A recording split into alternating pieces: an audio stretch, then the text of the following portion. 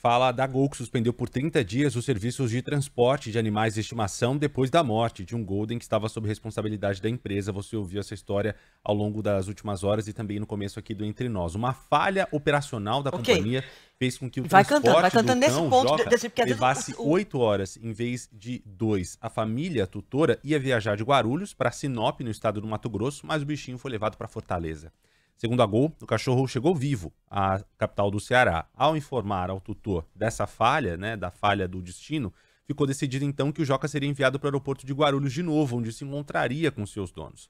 Nesse trecho do trajeto, o cachorro morreu. Um boletim de ocorrência foi registrado, a companhia comunicou em nota que está oferecendo suporte ao tutor e fez uma apuração, está fazendo uma, uma apuração interna.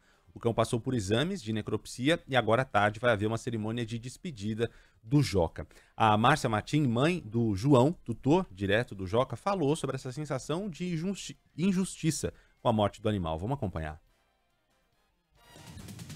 Eles levam um cachorro para um lugar errado, que não era o que você queria, e não cuida direito.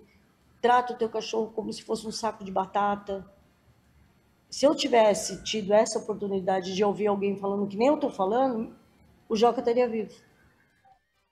E a gente tem uma informação de agora há pouco do presidente Lula, que nas redes sociais, durante a participação de uma cerimônia, disse que estava usando uma gravata ali com motivos caninos em homenagem ao Joca, mas mais importante da fala do presidente é ele cobrar diretamente a Gol, companhia aérea, diz que a Gol tem que prestar contas e cobrou também a Agência Nacional de Aviação Civil, diz que a ANAC tem de fiscalizar essa situação para que outros animais de estimação não morram em trajetos feitos aqui dentro do Brasil.